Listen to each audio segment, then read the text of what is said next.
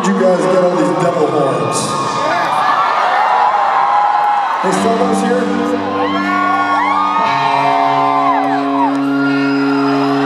Well, this is a perfect song for all those devil horns. This is a song about a place called Bat Country.